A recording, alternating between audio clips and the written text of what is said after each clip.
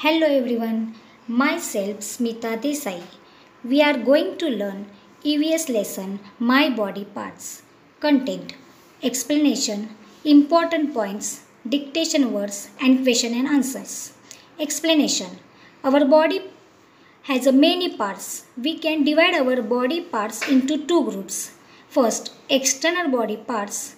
It means outer body parts. Second, internal body parts it means inner body parts. First external body parts. External body parts are those body parts which are visible to our naked eyes. Some of the external organs of our body are head eyes ears nose legs and arms Second, internal body parts. Internal body parts are those body parts which are not visible to our naked eyes. These are called organs. These organs are present inside our body. Some of the internal organs of our body are brain, heart, lungs, kidney and stomach. Functions of the body parts. First, brain. It is located inside our head. All the activities of our body are controlled by the brain. The brain helps us to think and learn. Second, heart. The heart is present on the left side of our chest. The main function of heart is to pump blood to all parts of the body. The heart of a normal man beats 72 times per minute.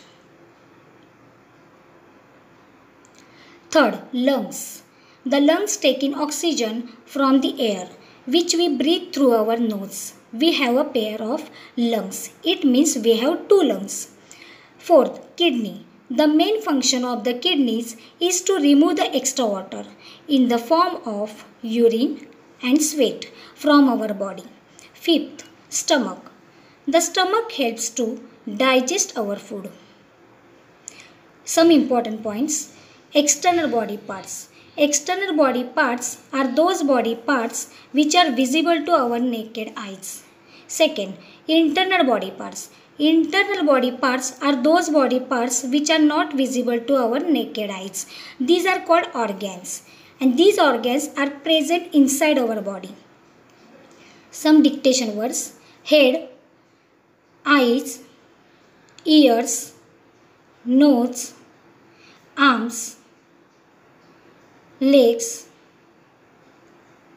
brain, heart, lungs, kidney and stomach. Write these words five times and also you have to learn. Answer the following questions. First, name the two main groups into which we can divide our body parts. Answer. We can divide our body parts into two groups. First, external body parts and second, internal body parts.